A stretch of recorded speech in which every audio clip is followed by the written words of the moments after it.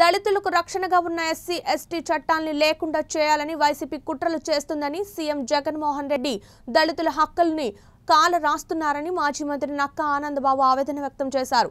YCP ప్రభుత్వం SC ST చట్టాన్ని దుర్వినియోగం చేస్తూ దళితులకు రక్షణగా ఉన్న ఆ చట్టాన్ని లేకుండా చేయాలని కుట్ర చేస్తుందని నక్క ఆనందబాబు ఆరోపించారు.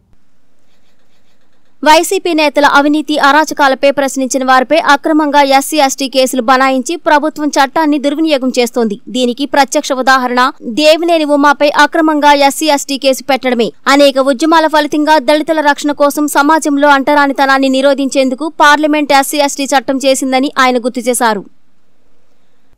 నిన్న సాయంత్రం నుంచి ఇంకా ఇప్పుడు కూడా జరుగుతూ ఉంది. మాజీ మంత్రి దేవినేని ఉమామహేశ్వరరావు గారి మీద అక్రమ అరెస్టు. ఇప్పుడు పోలీస్ స్టేషన్లోనే పోలీసులు నిర్బంధంలో ఉంచటం.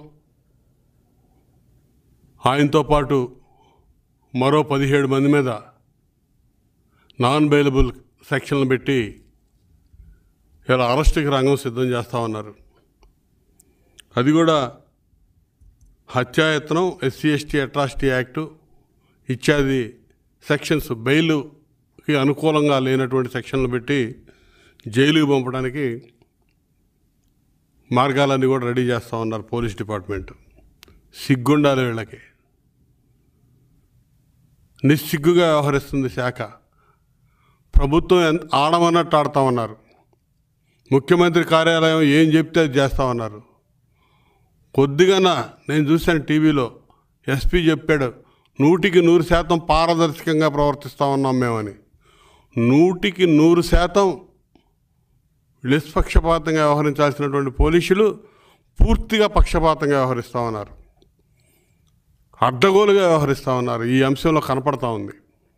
ఎందుకంటే నిన్న సాయంత్రం కొండపల్లి తెలుగుదేశం పార్టీ కార్యాలయంలో సమన్వయ కమిటీ సమావేశం పెట్టుకున్నటువంటి దేవినేని ఉమామహేశ్వరరావు వాళ్ళ ప్రాంతంలో ఈ పార్టీ ప్రభుత్వం అధికారంలోకి వచ్చినప్పటి నుంచి కొండపల్లి రిజర్వ్ ఫారెస్ట్లో జరుగుతున్నటువంటి అక్రమ మైనింగ్ తవ్వకాలు ఏదైతే ఉందో దాన్ని పరిశీలించడానికి మా కార్యకర్తలు నాయకులతో కలిసి వెళ్ళాడు. కలిసి వెళ్ళి తిరిగి వచ్చేటప్పుడు సుమారు ఆరు ఆరున్నర మధ్యలో ఆరు గంటల ఇరవై నిమిషాలకి తిరిగి వెనక్కి వస్తామన్నాడు. వెనక్కి వచ్చేటటువంటి దేవినేని ఉమామహేశ్వర